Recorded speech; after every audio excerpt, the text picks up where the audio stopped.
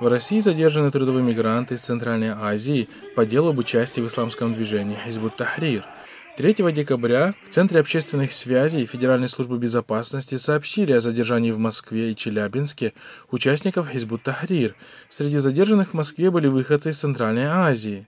5 декабря Мещанский суд Москвы санкционировал арест шестерых ранее задержанных. Среди обвиняемых Кимсанов Варходжон, Мамадалиев Марифджон, Султонов Игбулжон, Тухтасинов Икромиддин, Холдаров Гулумжон, Хулматов Азизбек, Маликов Марувжон.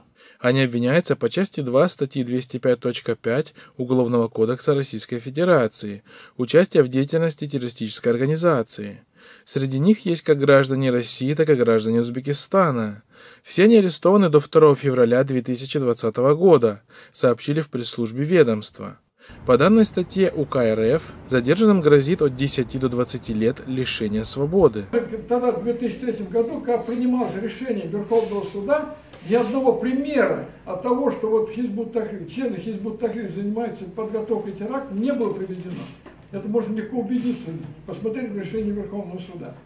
После этого сначала давали маленькие сроки, там условные маленькие сроки, потом приняли еще статью 205 «Поддержка терроризма». Получается как? Вот они в 2003 году признали организацию террористической, а дальше можно любого человека, исламиста, у которого книжка нашлась какая-то, где там, может быть, даже Хизбут Тахрир написано, все он поддерживает терроризм. Напомним, что российские международные правозащитные организации регулярно признают отбывающих наказания в виде лишения свободы за участие в Хизбут Тахрир политическими заключенными.